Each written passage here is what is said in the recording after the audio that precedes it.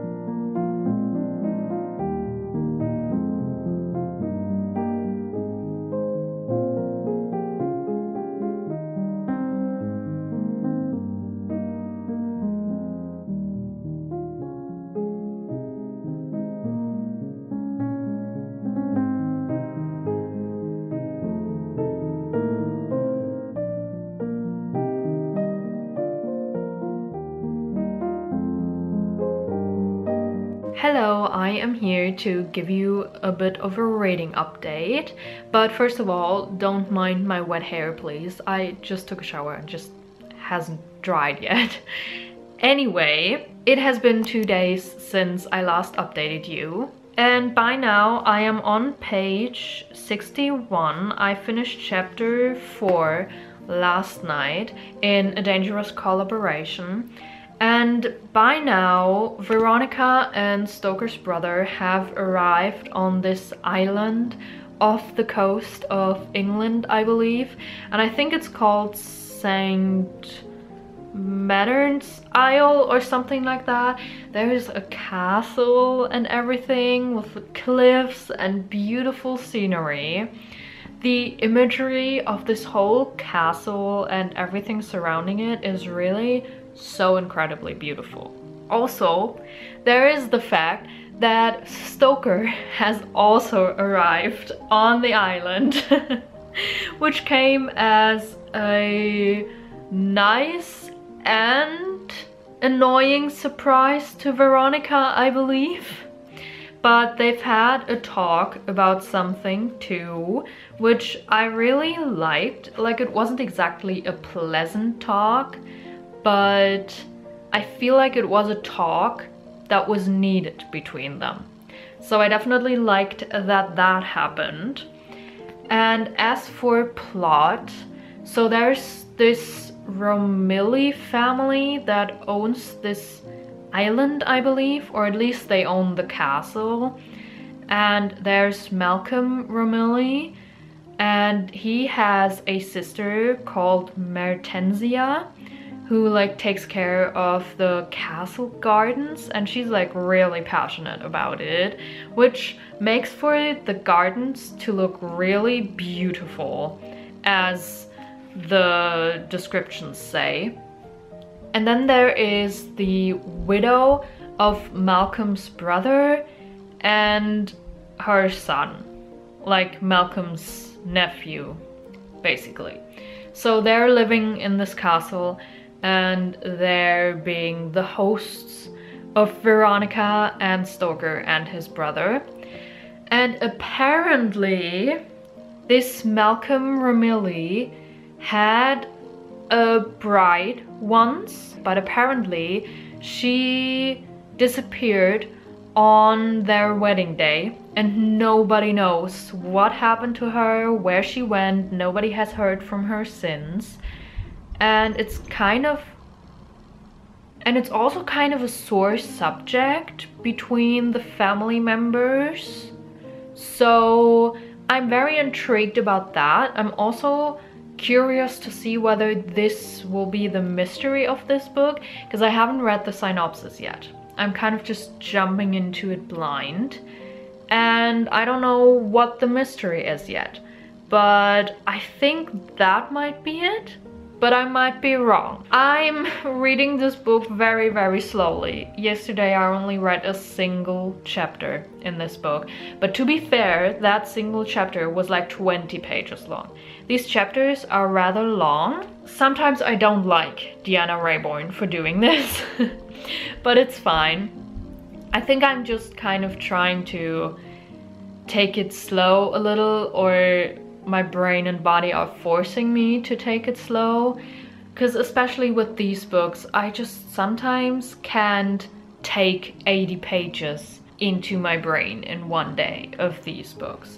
Probably because of the historical writing style. I'm definitely going to try and pick up my pace a little bit because I don't want to spend too too long with this book because I've got so many other books on my TBR for this month. But also, I don't want to stress myself out because that will probably be counterproductive. So yeah, there's the update. I will probably update you again once I've read a good bit in the book. And yeah, we'll see when that happens.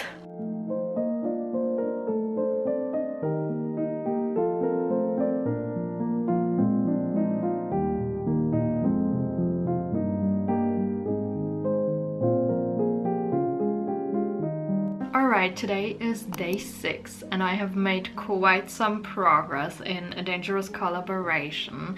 I am on page 160 now. I just finished chapter 10, which means that I am almost 50% through the book and let me tell you I'm having a great time reading this book first of all I love the imagery and the scenery and the descriptions and the atmosphere that the island and the castle provide because just it's so beautiful but at the same time it can be so eerie and slightly creepy sometimes. This castle that they're staying at has like secret passages everywhere and it's obviously an old ass castle so it's just creepy in some places. And when there's a storm going on outside and the wind is howling and stuff like that it's just I I love the vibe of this location that they're at.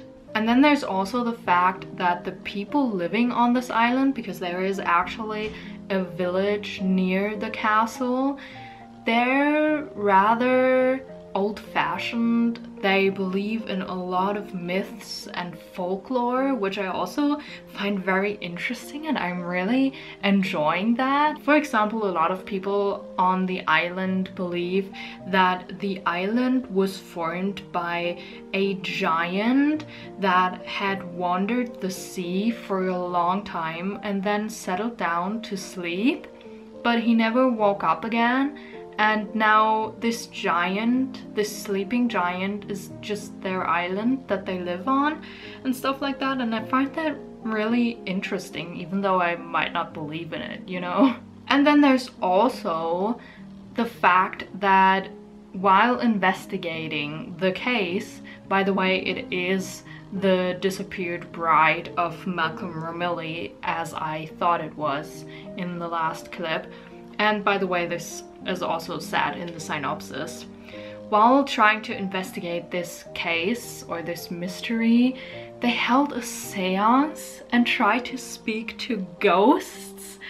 And like, I love the vibe of this. I love just I don't know, I'm just really enjoying this. And also the romance development.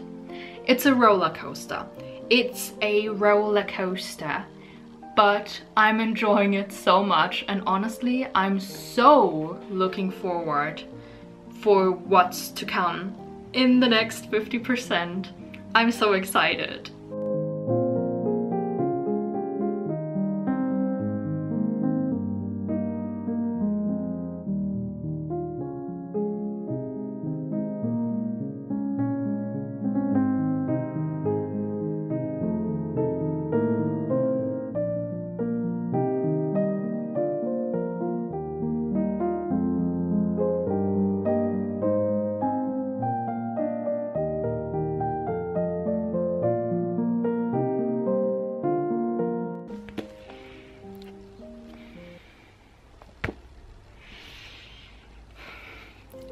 Same evening.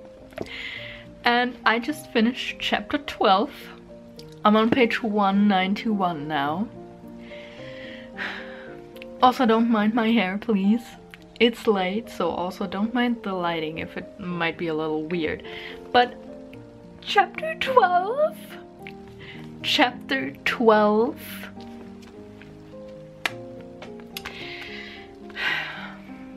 Okay, deep breath.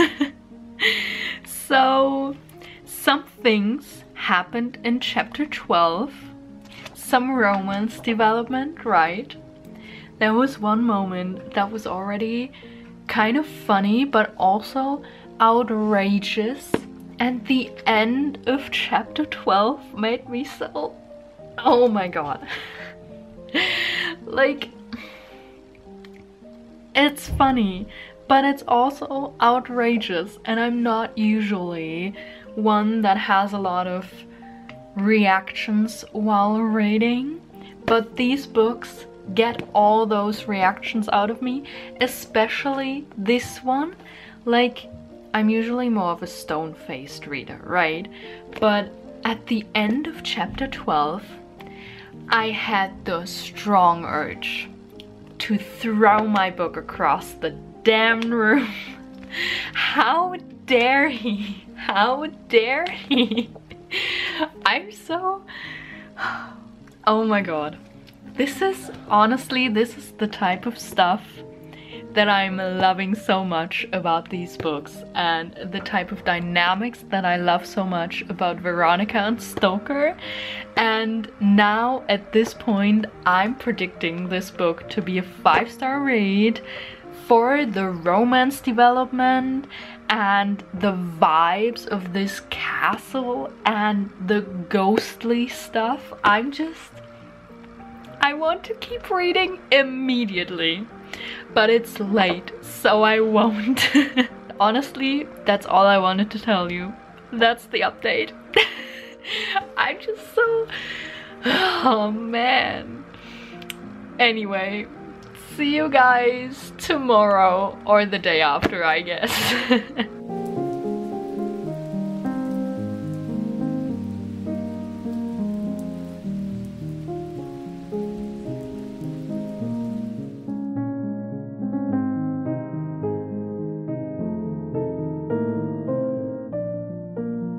Everybody, today is day 8 of reading A Dangerous Collaboration by Deanna Raybourn and I wanted to give you another reading update. I know the last one was a bit um, dramatic but by now I read a good bit in this book. I'm now I think 84% through and I'm on page 271 it's a couple of pages into chapter 17.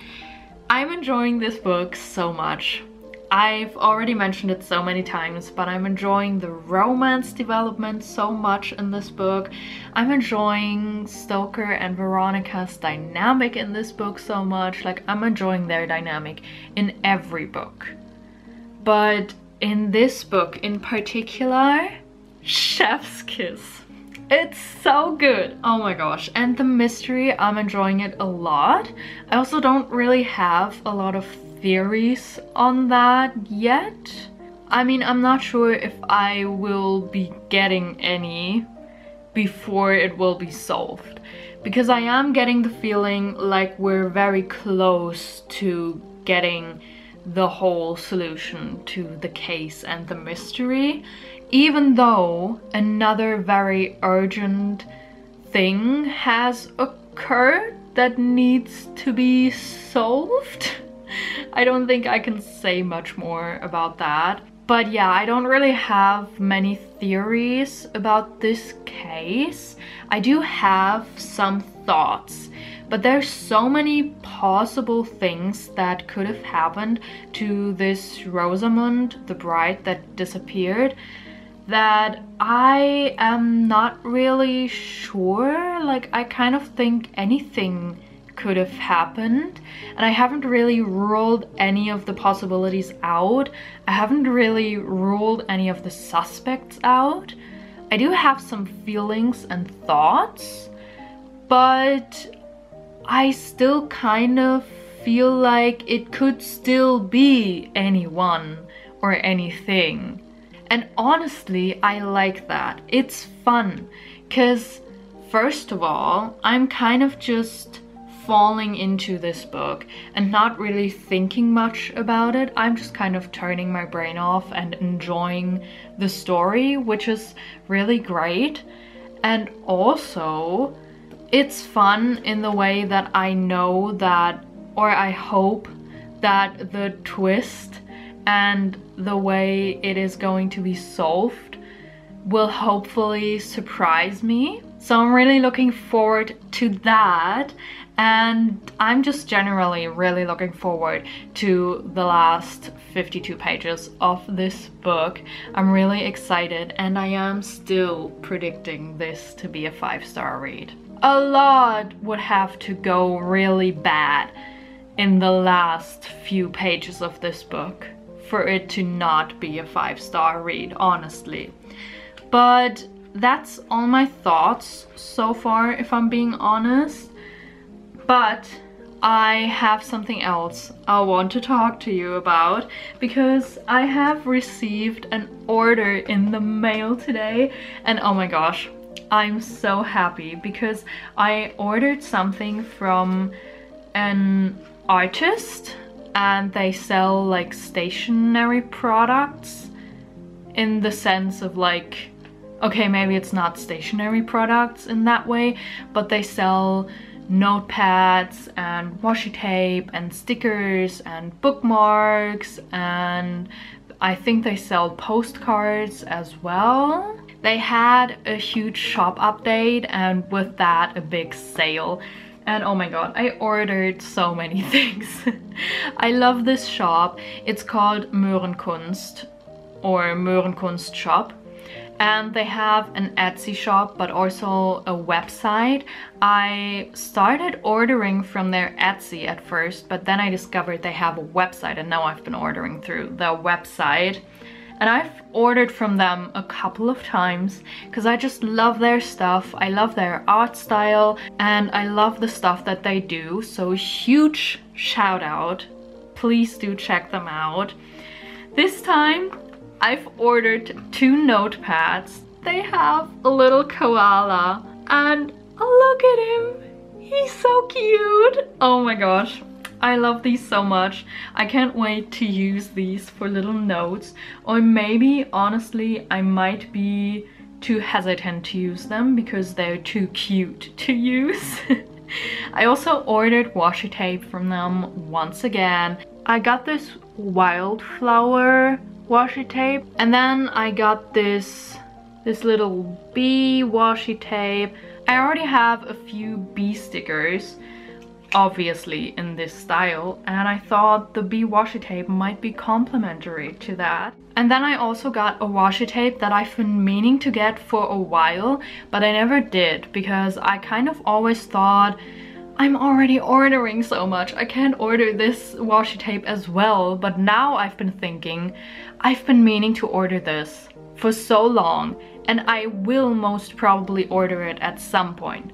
So why not just order it now, for God's sake. I ordered this autumn leaf washi tape, which they have in the shop in spring and summer editions as I don't know about the summer edition, but I know that there's a spring leaf edition of this washi tape as well. But I just wanted the autumn leaf edition because I just love autumn and I knew I needed the autumn option. And then I also got a bunch of sticker sheets. A bunch of sticker sheets. I already have so many sticker sheets from the shop, but honestly, can you ever have enough sticker sheets from a shop that you love? I don't think so. So I got this meadow sticker sheet, which I think is really cute. And then I got this tea time sticker sheet, which I've been also meaning to get for like the longest time. And I just thought now I'm finally gonna do it. Then I got this nautical sticker sheet and then I've got these two sticker sheets that are these flowers, one in blue and one in like yellow and orangey. They had them in, I think, white as well, but I thought these were the prettiest of them and I got them in the two different colors because I thought I could then like mix them up a little bit and they're both really pretty, really nice colors. So yeah, I'm so happy this order got in the mail today. I'm so excited to be using these stickers. I just, I've said this enough times by now, but I love this shop so much. I love their stuff so much and I'm so happy. I have more stuff I can put in my book journal now. As for reading update, the next one I'll probably do once I have finished the book because I'm pretty close.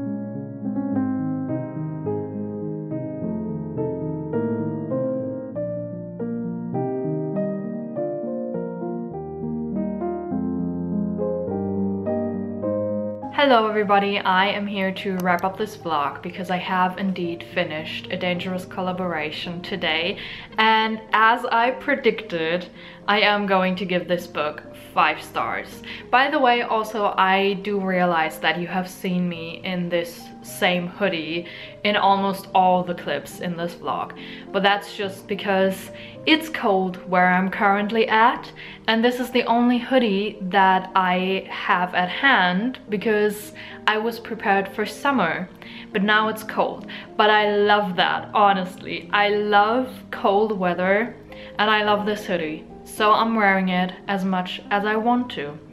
Anyway I loved this book. The romance development in this book was chef's kiss. The imagery and the scenery, the descriptions of the location this was set in, so good. The vibes and the atmosphere, amazing. I really loved the mystery. It was so interesting and intriguing and a little eerie and a bit creepy and I really liked that. The ending was a bit... I'm not saying I didn't like it, but I read the last 52 pages of this book in one sitting today, which I don't think I've read that many pages in a single sitting in quite a long time. So maybe it was a bit much for my brain, but the ending of this book, like the whole resolution to the case and the way it was solved, weighed a bit heavy on my mind at first because that was that was a bit oof. Like I can't really say what it was but there were a few things that were just a bit heavy at least for me personally. And it was also like multiple things stacked on top of each other at the end which made it a little heavier still. And then there was also the fact that things weren't described in detail which I was grateful for don't get me wrong but that left space for my brain to try and fill out what wasn't described in the book and that is sometimes worse when my brain starts to do that, you know? But I've given myself a bit of time to process what happened at the end of this book and I think it's fine. I'm fine, you know? It was just a bit much at first, but I definitely liked the way it ended and I just liked the mystery in general. I loved the way we saw a more vulnerable side of some of the characters and the romance development I, I keep saying it but it was just so good and so needed and I cannot wait to see what's in store for the two main characters in the next book.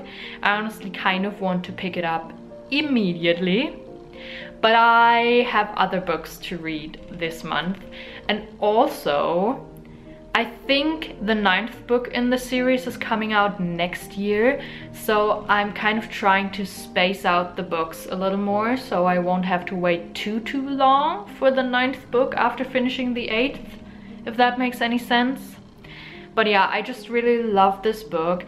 As with the other books in the Veronica Speedwell series, I just really enjoy how Deanna Raybourn managed to give her characters more so her main characters than some of the side characters, but she gave them so much depth and sometimes it's so much about the tiniest details like for example, the fact that Stoker is such a sweet tooth and he always, always has some candy in his pockets or that Veronica sometimes picks up on the fact that Stoker and his brother are so alike in the tiniest details, like the way they arched their eyebrows. And it's just small details like that that make the characters really feel like people instead of just ink on paper. I don't know if this makes any sense. Sometimes authors just manage to make you feel as if you're going on a journey with people. When you're reading a book instead of just reading about the adventures of characters if that makes any sense at all. but I just love the way Deanna Raybourn writes her characters and the way she writes the series. And I love Veronica and Stoker so much. And I just love this mix between mystery and romance. And oh my god, this book proved it for sure that I love this series and I'm so so excited to continue it. I also tapped this book so much for my standards. I really went above and beyond with tabbing in this book but like I'm so happy because that just tells me that I really enjoyed my time with this book and I'm just so so happy that I read this book Another thing that I'm also really happy about and that I do want to share with you is that I finally managed to catch up a bit on my reading journal. I've been so far behind on my reading journal spreads and pages you cannot even imagine. Like it's the beginning of August and until this week I had not even finished my June spread. That's about as far behind as I have been. But I finally managed to catch up quite a bit and I'm so incredibly happy about that because the more I fell behind on my reading journal, the harder it was for me to just sit down and try to catch up a bit because the workload kept getting more and more you know, and it kept getting more and more daunting to just sit down and do some book journaling. But I finally did it a few days at a time and now the workload has gotten a little less and now it's become a little easier to sit down and catch up more with my reading journal until I'm hopefully fully caught up. I haven't filmed anything for basically this exact reason because I was so far behind that I really just wanted to put all the energy and mental space when I did have it into actually doing my reading journal instead of also trying to film. So I just didn't film any of that, but you will see all the spreads and pages at the end of the year because I will most probably do a reading journal flip through at the end of the year but I just wanted to share that with you. but yeah, that is all I wanted to say and with that I will let you guys go. I really hope you guys have enjoyed this video. Thank you so so much for watching. If you did like this video, maybe give it a thumbs up and perhaps subscribe to my channel. Perhaps let me know down in the comments if you have read this book that I read in this reading vlog or any of the other books in the Veronica Speedwell series. If not, you can just tell me what you're currently reading or anything else you would like to let me know. Otherwise, I will see you guys somewhere else on the internet or in my next video. Bye!